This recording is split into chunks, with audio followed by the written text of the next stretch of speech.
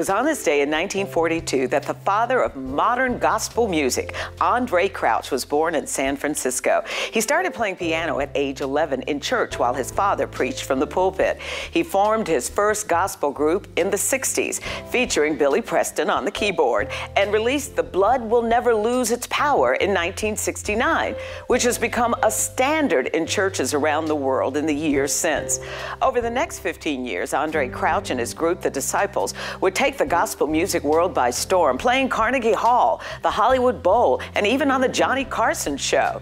Crouch also arranged gospel choir singers on songs by secular musicians, including Michael Jackson, Stevie Wonder, Chaka Khan, and Diana Ross. On January 3, 2015, Andrae Crouch suffered a heart attack in Los Angeles. He died five days later. He left behind a legacy of music that would influence both Christian and secular artists to this day.